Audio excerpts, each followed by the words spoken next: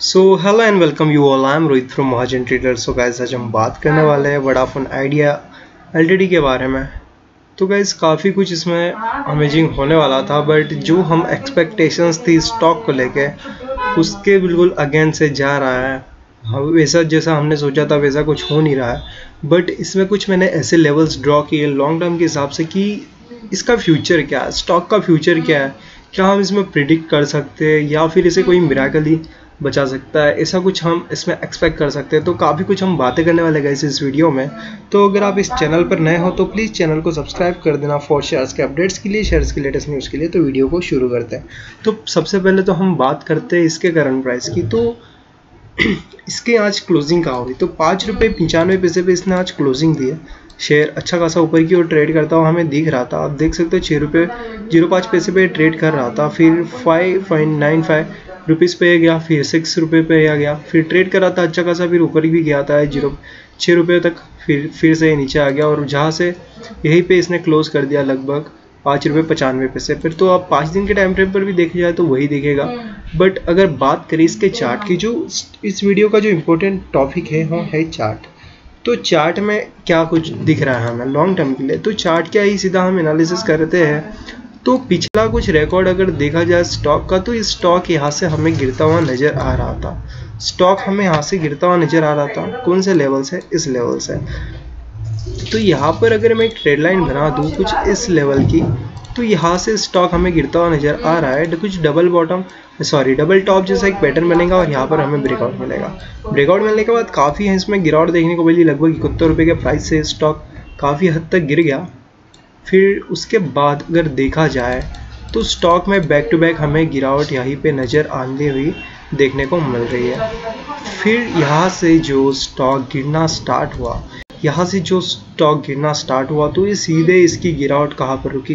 तो गाइस दो सॉरी तीन रुपये पर स्टॉक सीधा यहीं पर इसकी गिरावट रुकी है। और इसके बाद क्या कुछ हम एक्सपेक्ट कर रहे थे कि मैं एक्सपेक्ट कर रहे थे हम कि यहीं से सपोर्ट लेके ऊपर की ओर जाए बट वैसा कुछ हुआ नहीं स्टॉक में। बट अभी इसने सपोर्ट ले लिया था तीन रुपये ज़ीरो पाँच पैसे पर। तो थंबनेल में आपने देख ही लिया होगा कि तीन रुपये तक स्टॉक जाने वाला है। तो आप बच के रहिए। तो मैंने जैसा बोला है कि इसी लेवल के बेसिस पे मैंने बोला था, क्योंकि यहाँ से जब ये स्टॉक नीचे आया था, ऊपर इसे यहाँ पर रिजेक्शन मिला था। रिजेक्शन मिला, फिर नीचे आया, फिर ऊपर गया, फिर यहाँ पर इसने ब्रेकआउट मिला।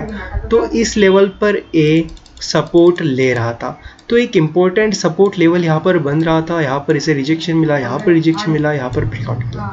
तो ब्रेकआउट मिलने के बाद काफ़ी हद तक स्टॉक ऊपर भी गया था। लगभग आप देख सकते हो तीन रुपये के प्राइस से स्टॉक चले गया था, तेरह रुपये के प्राइस तक।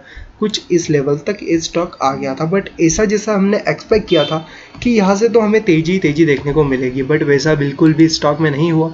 ऊपर से स्टॉक आया, नीचे आया, ऊपर गया, नीचे आया, ऊपर गया, नीचे आया, ऊपर गया। फिर फाइनली यहाँ पर हमें ब्रेकआउट मिल गया। ब्रेकआउट मिलने के बाद फिर से स्टॉक में हमें गिरावट देखने को मिल रही है। सात रुपये का जो टारगेट सात रुपये का जो लेवल था, सात रुपये पचानवे पैसे का, ये वाला ये वाला ये वाला, यहाँ पर हमें ब्रेकआउट मिला, यहाँ पर रिजेक्शन मिला, यहाँ पर नीचे की ओर हमें ब्रेकआउट मिला। तो वही कुछ इसमें हमें देखने को मिल रहा है। बट देखना होगा कि ये तीन रुपये तक आता है या नहीं आता है। तो तीन रुपये का लेवल मैं इसी बेसिस पे बोल रहा हूँ, क्योंकि यहाँ तक स्टॉक आया तो यहीं पर भी आएगा ही आएगा। तो यहीं पर ये आने की कोशिश कर रहा है। अगर कोई इसमें अच्छी न्यूज़ आती है, बड़ा इन्वेस्टमेंट इसमें अगर होता है तो यहीं से रिवर्स हो जाएगा। बट ऐसा होता हुआ मुझे बिल्कुल भी इसमें नज़र नहीं आ रहा है, क्योंकि काफ़ी कुछ प्रिडिक्शंस भी, कई प्रिडिक्टर्स ने प्रिडिक्शन किए कि इसी लेवल तक स्टॉक आ सकता है, तीन रुपये तक आ सकता है तो किस बेसिस पे आ सकता है? तो यही वो लेवल है, यही वो लेवल्स हैं, जिनके बेसिस पे कई सारे प्रिडिक्टर्स कहते हैं कि इस लेवल तक ये स्टॉक आ सकता है। तो देखना होगा कि कब तक ये स्टॉक नीचे आता है। वही अगर चार्ट की अगर बात करें फाइनेंशियल्स अगर इसकी रिपोर्ट्स को हम देखें तो स्टॉक में हम देखते हैं तो यहाँ पर आप देख सकते हो कंपनी के पास ज़्यादा पैसा नहीं है। कंपनी के हाथों में सिर्फ़ आप देख सकते हो, अगर मार्च 2021 की बात करूँ तो 22 बिलियन का अमाउंट है। चाहे तो कंपनी काफ़ी कुछ हद तक ऊपर इसे ले जा सकती है। परसेंटेज में भी अगर हम देखें तो काफ़ी परसेंटेज में भी ऊपर जाता हुआ हमें स्टॉक दिख रहा है। बट अगर छियानवे बिलियन का इसका रेवेन्यू था, छियानवे बिलियन का और उनपचास बिलियन का इसका कैश ऑफ़ हैंड अगर बात करें तो कंपनी के हाथ में 22 बिलियन रुपए अभी भी है। तो अगर बात की जाए तो आप देख सकते हैं रेवेन्यू अगर मार्च 2020 की बात करूँ, दिसंबर 2020 की तो कंपनी के पास बहुत सारा पैसा था। अगर मार्च 2020 की बात करें, तब भी पैसा था बट अभी अभी कम हुआ है। बट अगर कंपैरिजन की किया जाए, अगर जियो और वडाफोन में अगर कंपैरिजन किया जाए दोनों कंपनीज़ में तो काफ़ी हद तक हमें इसमें रिटर्न्स हमें देखने को मिल सकते हैं। बट देखना होगा कि आगे इसमें क्या होता है। क्योंकि सब्सक्राइबर्स इसी वडाफोन के आसपास ही इसके भी सब्सक्राइबर्स हैं। वही वन वन मंथ की बात करूँ तो स्टॉक काफ़ी हमें गिरावट में देखने को मिल रहा है।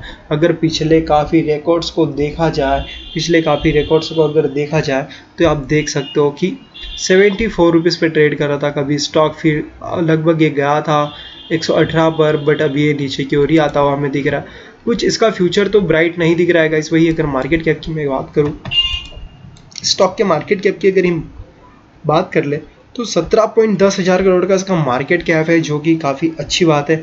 वही अगर बात करें इसके बावन वीक के हाई की तो तेरह रुपये अस्सी पैसे बावन वीक का हाई है और बावन वीक के लो की अगर बात करें तो चार रुपये पचपन पैसे इसका लो है।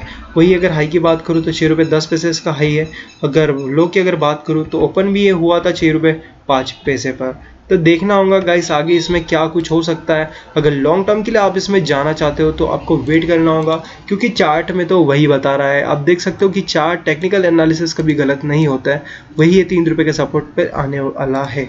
वही अगर बात करें, चलो ठीक है, हम वन आवर टाइम फ्रेम पर बात कर लेते हैं। कि इसमें क्या कुछ वन आवर टाइम फ्रेम पर हो सकता है। तो ठीक है, हम इसमें कुछ अपॉर्चुनिटी ढूँढने की कोशिश करेंगे बट इसमें हम एक सीधा सा ट्रेड लाइन ही बना सकते हैं, ज़्यादा कुछ इसमें कर नहीं सकते। तो ठीक है, चलो हमने सीधा सा इसमें ट्रेड लाइन बना दिया।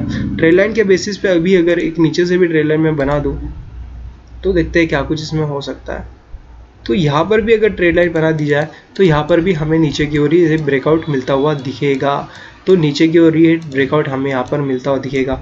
देखना होगा कि क्या होता है। अगर यहाँ पर ब्रेकआउट मिलता है तो यहीं से रिटेस्ट करके वो ऊपर की ओर जा सकता है। बट ऐसा पॉसिबल नहीं है, क्योंकि इसे नीचे की ओर ब्रेकआउट मिला है। नीचे की ओर अगर ब्रेकआउट मिला है तो ये नीचे की ओर ही आने की कोशिश करेगा।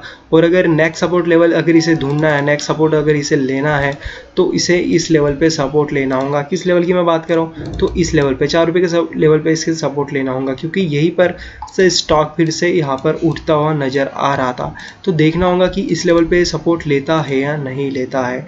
तो गाइस देखना होगा, आगे क्या होता है वेट करना होगा कि क्या होगा। आपको पेशेंसली इसमें वेट करना है। अगर आपको वोडाफोन आइडिया में अपने पैसे लगाए हो तो तीन रुपये के लेवल से ही ये सपोर्ट लेगा या फिर चार रुपये पचपन पैसे के लेवल से सपोर्ट लेने वाला है।